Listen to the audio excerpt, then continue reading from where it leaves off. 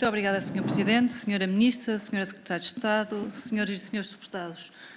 Sra. Ministra Marina Gonçalves, a Sra. Ministra é a Ministra mais nova de todo o Executivo e também das mais recentes, tendo tomado posse há apenas seis meses, mas a verdade é que tem dado já muito o que falar.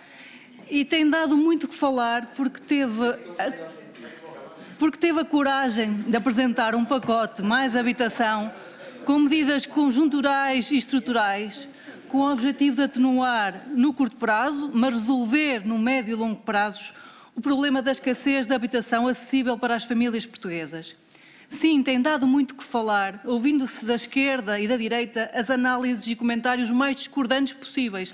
A direita diz que é um pacote de habitação é estatizante, enquanto que a esquerda fala de borla fiscal. A direita diz que é um regresso a uma intervenção excessiva por parte do Estado, enquanto que a esquerda critica a manutenção dos interesses da banca e as bordas fiscais aos especuladores.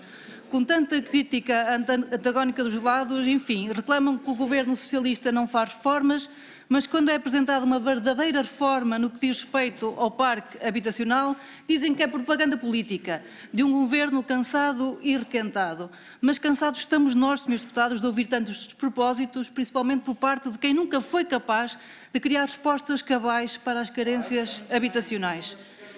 E enquanto uns falam, enquanto uns falos o PS faz. E por isso, Senhora Ministra, sei que tem acompanhado de perto a evolução dos projetos e obras que estão a ser promovidos para reforçar a habitação pública para o arrendamento acessível e para resolver as condições de indignidade habitacional no país, no âmbito desse relevante programa estrutural que é o primeiro direito, e acreditando verdadeiramente que o sucesso dos programas do arrendamento acessível passa necessariamente pelo envolvimento dos municípios, o que lhe pergunto é se tem sentido esse envolvimento, essa vontade por parte dos autarcas em utilizar todos os instrumentos disponíveis com o objetivo de proporcionar às famílias o acesso a uma habitação condigna ou se, pelo contrário, tem sentido alguma resistência por parte destes. Muito, Muito obrigada.